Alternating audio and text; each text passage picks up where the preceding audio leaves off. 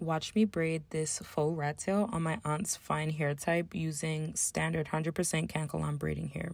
She lives in Hawaii and I just moved here a couple days ago from ATL and she's legit been asking me to braid this for her since I stepped foot off the plane, y'all. So here we are. Her wish is my command. The braiding hair matches her natural hair color perfectly. Some facts about rat tails. They were really popular in the US in the 80s and early 90s, although it's culturally Native American slash East Asian. But it actually gives me like Woodstock 1969 hippie vibes, which to me are the vibes on Maui where we live.